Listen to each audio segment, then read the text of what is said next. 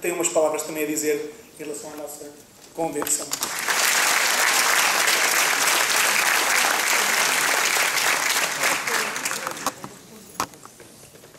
Bem, boa tarde a todos. Estamos aqui numa luta difícil e desigual para apoiar o nosso candidato Fernando Nobre. A tarefa em que nos, com que nos comprometemos é difícil, mas o difícil não significa o impossível.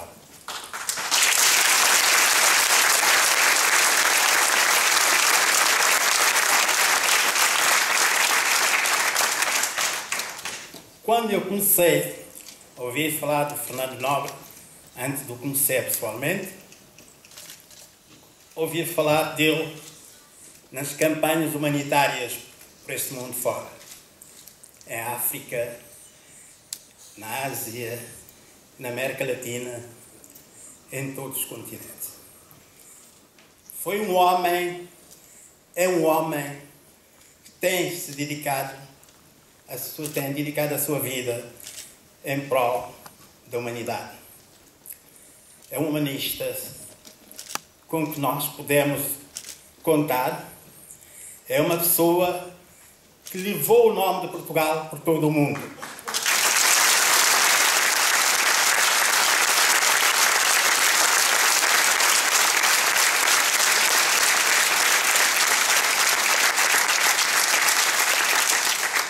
Fernando Nobre também, a quem eu agradeço muito por ter feito grandes obras em prol do meu país e do meu povo, Guiné-Bissau.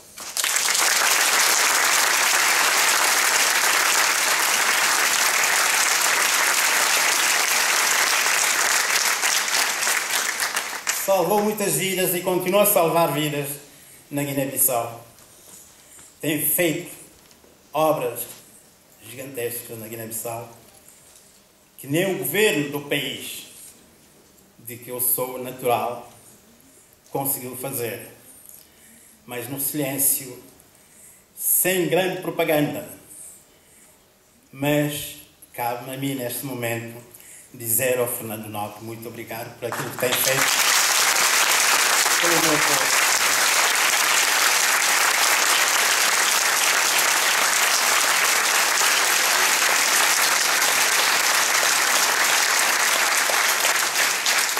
Eu costumo dizer que nós há coisas que nos são impostas. Ninguém escolhe o país onde nascer. Ninguém escolhe os pais de onde nascer, nasceu. Nós também não escolhemos a raça de que somos. Também a circunstância histórica que determinou a colonização portuguesa em África, sobretudo na Guiné-Bissau, foi também uma imposição. Mas nós, os guineenses, eu particularmente, tenho orgulho de ser cidadão português. Eu nunca.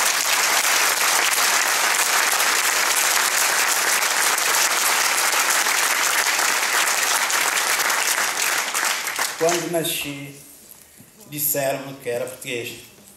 Eu aceitei e continuo a ser até hoje, mesmo quando a Guiné é é evidente, há muita gente que me pergunta de onde é que é.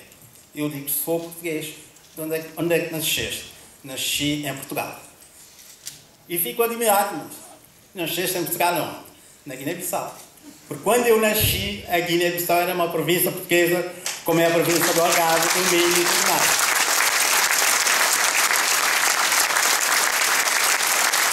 Contar a minha situação com do Dom Duarte aqui do Bragaço. Ele também nasceu fora do país, mas nasceu no território português, numa embaixada portuguesa na Suíça. Portanto, ele também se Eu não pedi a nacionalidade portuguesa. Eu continuei a ser português quando eu nasci, continuo a ser até o fim da minha vida.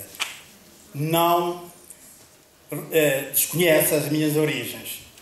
Tenho orgulho de ser hoje luso-guineense.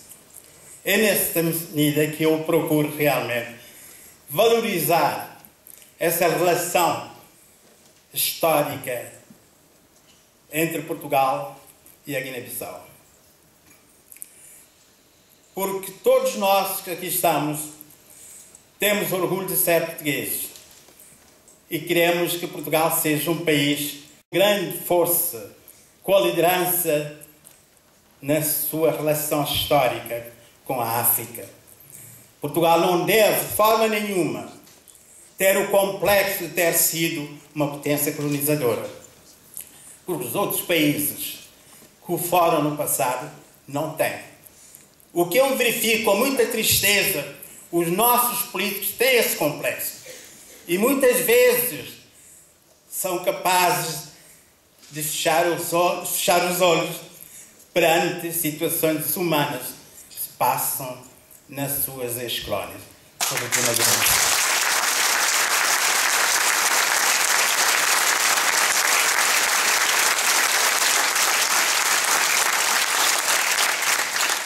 O pretexto de que não se pode eh, criar problemas com os países ex-colónias portuguesas. A questão de não podemos ingerir, eh, ingerir nos países, eh, nas questões internas deste país. Mas as questões humanitárias não têm não têm fronteiras. Onde são violados os direitos humanos, Portugal, como um país subscritor da Carta das Nações Unidas sobre o Direito do Homem, não pode de forma nenhuma não ter uma posição de condenação quando estes direitos são violados, onde quer que seja.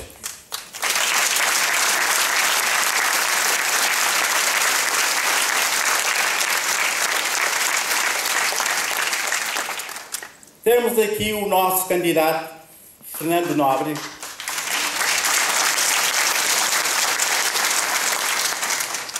que é uma pessoa, pela sua intervenção em todos os continentes, em defesa deste valor fundamental, o valor supremo dos direitos humanos é a vida. É para essa vida que ele tem lutado.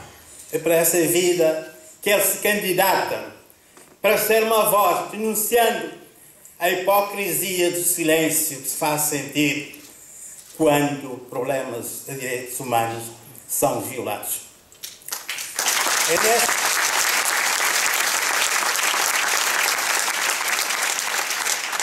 Quando Fernando Nobre me convidou para fazer parte da Comissão Política de Apoio da sua candidatura, senti uma coisa especial dentro de mim. Parecia que estava a sonhar, porque não estava à espera disso, do convite de uma personalidade com a grandeza de Fernando Nobre. E eu não podia dizer outra coisa. Eu faço aqui apelo à comunidade africana de modo geral para que possam votar, para que possa votar no Fernando Nobre. Que não se deixe iludir pelos candidatos que nunca, nunca se interessaram pela situação da comunidade africana neste país.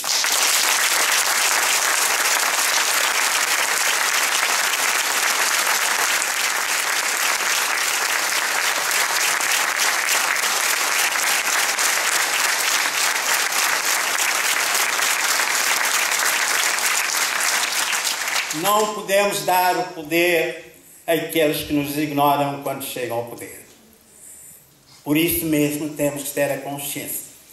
É uma questão de opção séria que nós temos neste momento. Ou votamos naqueles que depois, depois nos ignoram, ou então vamos votar com um candidato solidário. E a sua solidariedade não é depois das eleições, não é durante a campanha que diz, mas é aquilo que ele tem mostrado ao longo da sua vida, quer aqui, quer em África. Porque o Fernando Nobre tem uma instituição, a mim, que também aqui, neste território, tem acolhido milhares de africanos que têm necessidade, que procuram.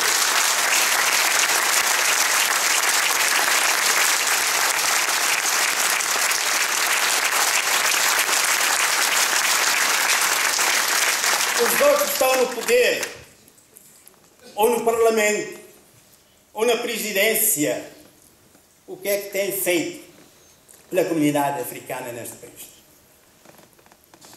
Nada.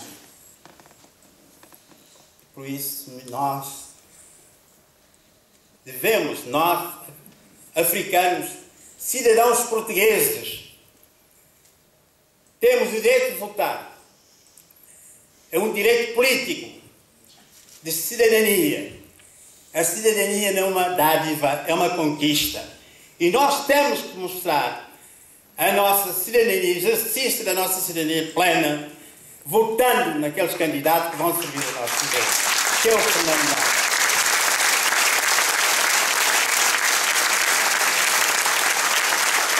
Para terminar, agradecer mais uma vez ao Fernando Nobre, que é o meu candidato. Certamente muitos africanos irão votar no Fernando Nobre. Muitas vezes se diz, nós temos que votar naqueles que têm mais possibilidade de ganhar. Mas nós não sabemos. Quem decide não são as sondagens, mas é o povo. E esse povo